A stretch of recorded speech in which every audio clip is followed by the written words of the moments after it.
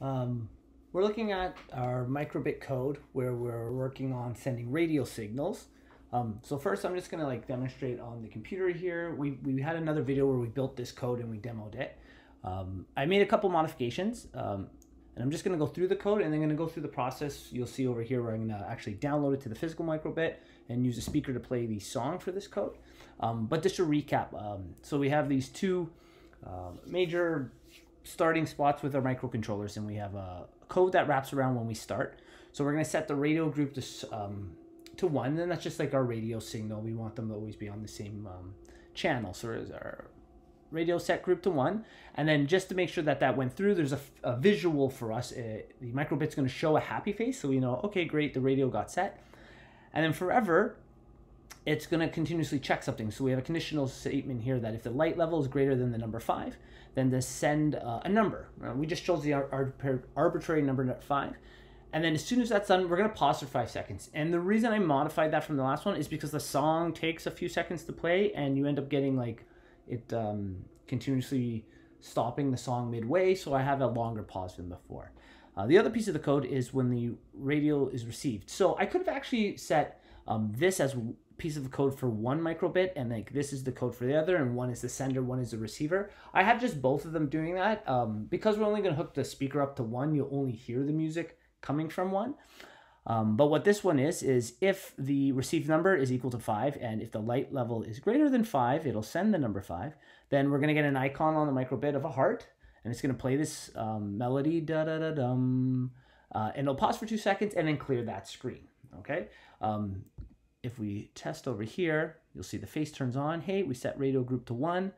And then very quickly, this is happening. I'm gonna, I'll turn the sound on for a second. You can hear it, it's playing right now, okay? Um, great, we know that code worked. Uh, now what we would do is normally just save what we got. And when we save it, you'll notice that it downloads the hex file to the computer. I'm gonna quickly jump over here. These are my downloads. Now, this is the step we're going to actually work on the microbit itself. So you can see the microbit here. Uh, we have the USB to micro USB. So I'm going to plug it in. Okay, and you'll see there's a light on the back. That means it's getting power. Uh, we're plugged in at the moment.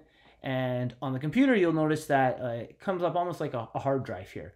This is the most recent one. So I'm actually going to drag this hex file. It did not work.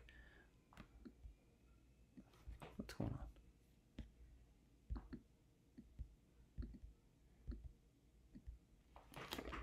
use two hands for this.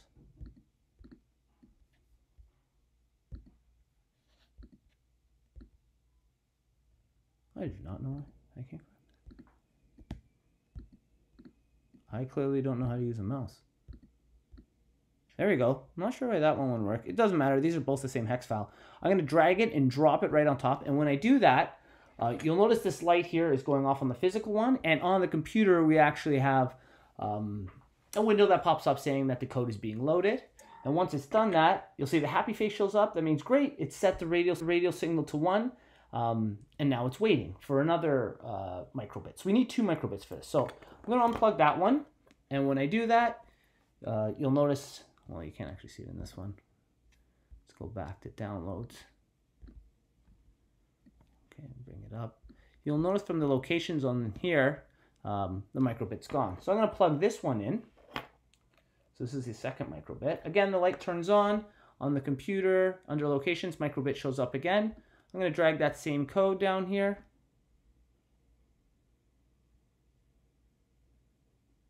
It's loading. The window pops up, says it's loading. That light's going on on the physical microbit saying that the code is passing through. And we get the happy face. Great. And the heart. So the heart is saying that this is actually um, picking up the light and they're sending signals to each other. So this one, the heart turned on. That means the signal got sent to this one here. Uh, so this one's currently sending it over. I'm going to actually hook up the microbit here. So in the physical space, uh, you'll notice I have two alligator clips and I have the audio cable that's attached to the speaker here.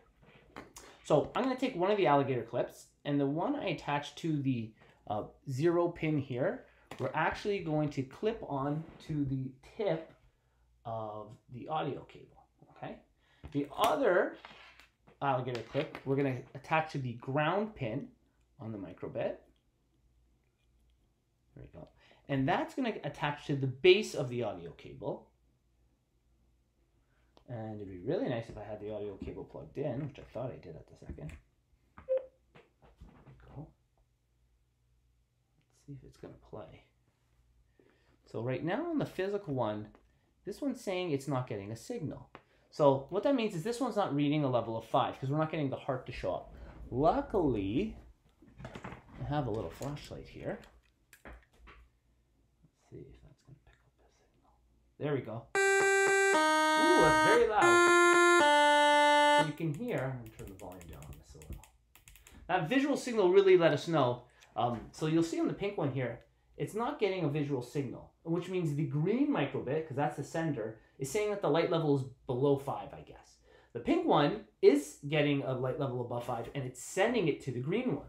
So the green one's seeing it. You can see the visual. It's giving us the heart, but I don't have that hooked into any uh, speakers, so you're not getting any audio sound, right? So I only get a visual saying that, hey, the light sensor says there's a level 5.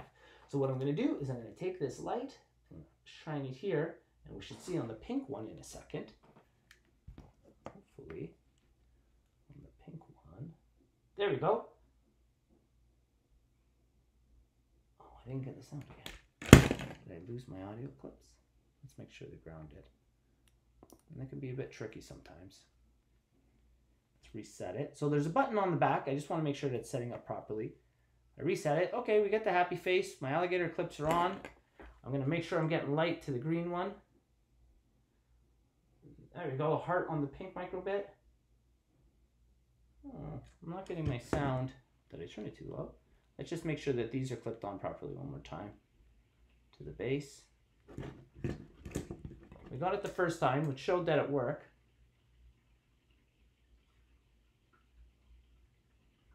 Hmm. You can see by the heart here that it's actually sending. I wonder if there's an issue with my speaker. Try it one more time. There you go. I hope it's not. This is a Bluetooth speaker, so hopefully it's not connecting to something else at the moment. Hmm. Let's try. I'm going to do one more thing. This video is longer than I want it to be. But since the green one keeps getting that signal, it's the same code. The green one should actually do the exact same thing. I can actually clip it right in there.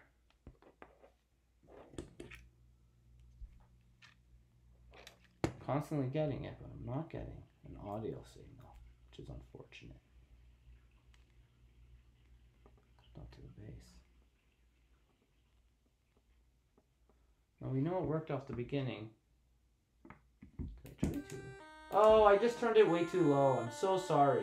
There we go. Well, at least we tested the green one. So we know the green one code is also working.